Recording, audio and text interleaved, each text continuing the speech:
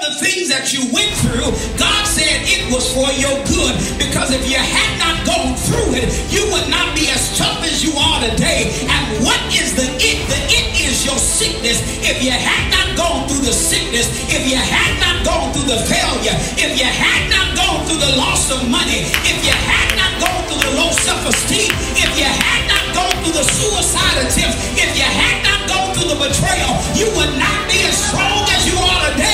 you ought to thank God and say, God, it was for my good.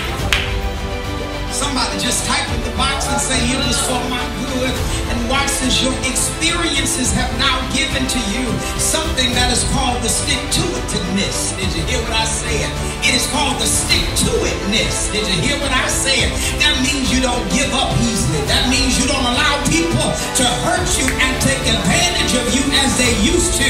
Your stick to itness has taught you how to bounce back from everything that you've gone through. Why?